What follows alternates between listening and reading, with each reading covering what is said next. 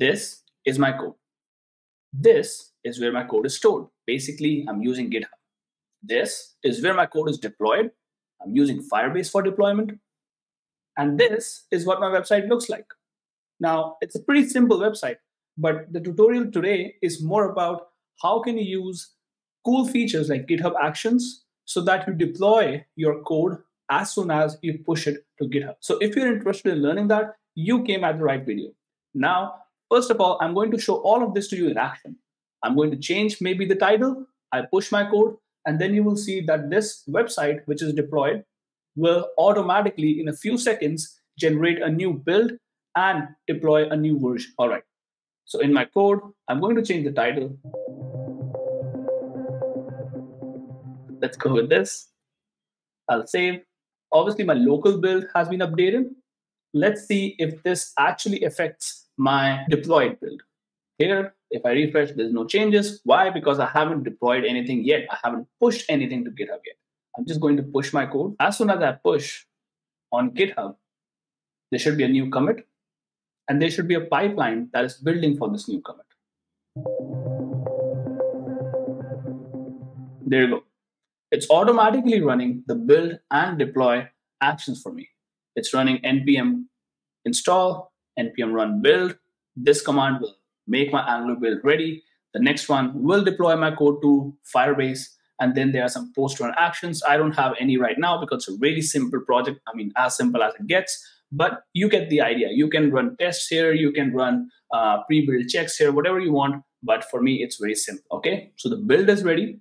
Looks like now it's deploying to Firebase. All right, looks like the job is complete. We see the tick mark here. Pretty good. Let's go and refresh our website. And there you go. Like, comment, and share. They have made this so easy for us that you don't even need to know a lot of DevOps, a lot of, you know, how YAML files are implemented, how Firebase.json file is implemented. All of that can be pre-built for you. I'm not saying that learning DevOps and learning those tricks are not useful. They're super useful, especially if you're stuck somewhere. But I'm just saying that if you're not interested in that, if you're just a front end engineer or a back end engineer and just want to focus on your code, it's a beautiful feature that Firebase and GitHub came out with. Now let's learn how to do this. So here, as you can see, I'm making a brand new Angular project so that I can show you all the steps from scratch. All right, packages installed successfully. Let's go ahead and open this new project in Visual Studio Code. And by the way, I think I haven't mentioned this, but if you want to refer to any code that is shown in this video, you just need to go to askillaway.com slash GitHub Actions. That's all. The link is here right in front of you, as well as down in the description below. So go ahead and see the code. There you would be able to see the steps I followed, the code I followed, and for any video, any tutorial that we make, askillaway.com is going to be the website where you can go and just check out in detail what we talked about and what we show you on the screens here.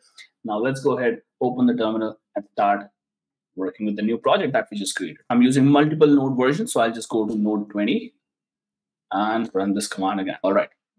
Now, this is a brand new project. What I'm going to do now is I'm going to push it to GitHub and I'm going to deploy it on Firebase. And then I'm going to connect both of them and show you how to do this so that you can actually implement this in any project you have. So here I just created a new GitHub repo. I'm going to link it with my project now. The code should be pushed now to GitHub. There you go. It's my first commit ever. And this has the initial Angular project. Nothing special. So far, it's really basic, really simple. Now, let's deploy this to Firebase. So I'm going to run the command firebase init now, which is short for firebase initialize. When you're running firebase init, you have two options. Either you can create a project right here on the command line, or you can simply use the Firebase UI to create a new project. I prefer using the Firebase UI because it's really easy. So let's go ahead and put a project name. I'm going to say demo GitHub. Let's go ahead, default account. So in a few seconds, you will see that our new project on Firebase is spawn up. And then we just have to connect Angular code with Firebase and voila, the Firebase project is ready. Let's go ahead, Firebase init. I want to choose hosting. I want to use an existing project. And let's find our newly made project. So there you go. That's my project that I just created on, on Firebase UI, Firebase console. Let's set it up.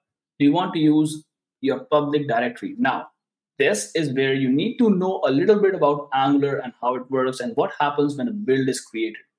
Now, luckily, I've already done this before, so I'm going to show you exactly what directory you need to put in. But for now, I'll just let it go. I'll just say public and then we'll edit it ourselves, okay? Automatic builds and deploys with GitHub. Yes, absolutely, I want to do that.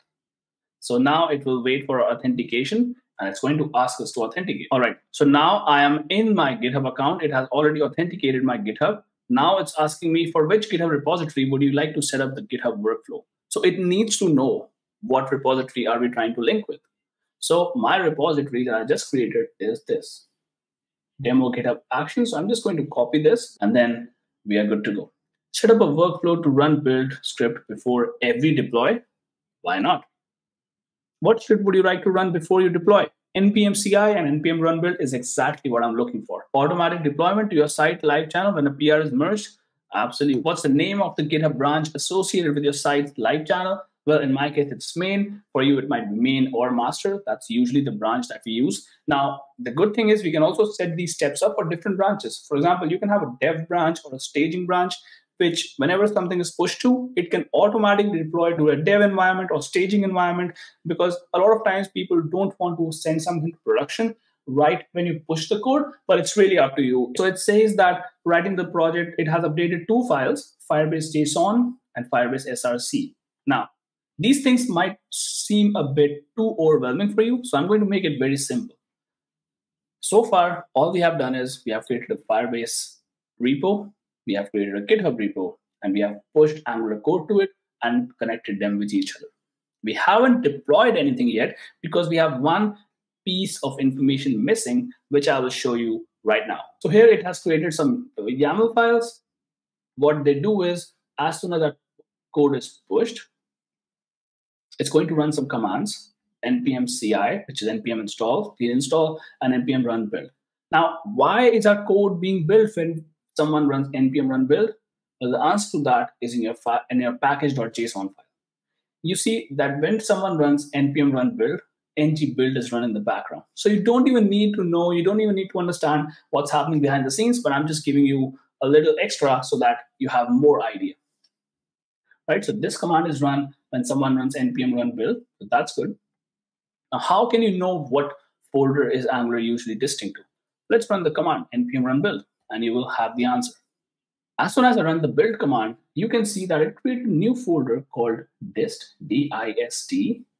Inside that, it has another folder, which is name of my project. Inside that, there's another folder called browser. So what you actually need to do is you need to give that path over here, dist, name of your project, and browser. And I'm going to delete the public folder because I really don't need it. All right. Now, hopefully, as soon as I push my code, and if my steps are correct, if my directories are correct, the video should end soon, right? Because our goal should be accomplished. Let's see what happens when we push the code. Refresh. There's a new commit. Awesome. And there you go. There's a build that's running.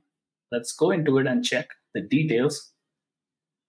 All right, first part is successful. npm CI, npm run build. This is the main thing that happens with our every commit, every push. And you can also go to just the actions tab over here and you will see everything that's happening for your website behind the scenes. I also want to check the status of my Firebase console. Is has anything changed here or not? Let's check it out. Let's refresh again.